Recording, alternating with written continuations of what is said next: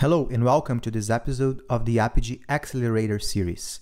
In this video, we'll be demonstrating how to create and send custom log messages from an Apigee API proxy to Google Cloud Logging. In this example, our sample proxy will be sending regular API traffic to the backend.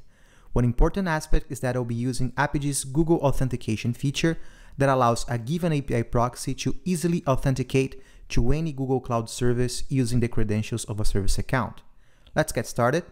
In order to run the sample, you need the following prerequisites. An active Apigee instance configured for receiving external traffic, the following tools in your terminal, and also permissions for creating service accounts, setting its IAM permissions, and creating and deploying API proxies. For this video, we'll be using the Cloud Shell tutorial so we can quickly get started and all the tools are already pre-configured.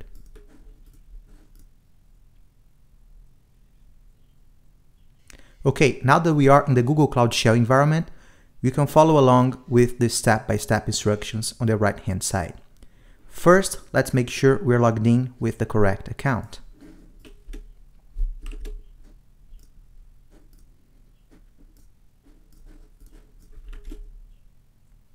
Alright, so now that's CG into the Cloud Logging directory.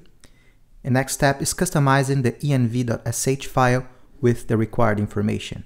We can click here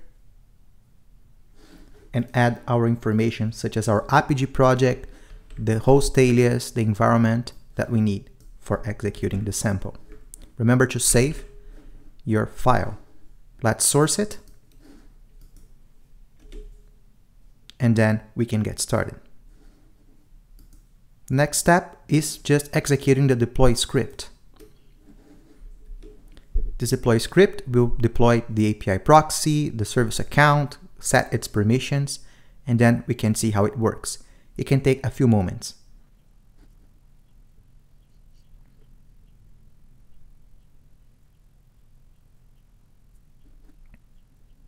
Alright, now that the script is finally over, let's take the next steps. First, let's generate a few sample API calls.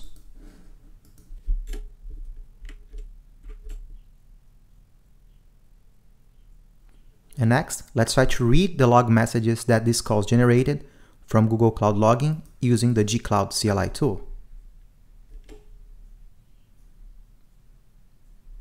Let's read it again. There you go. Now let's see in more details what's configured in Apigee.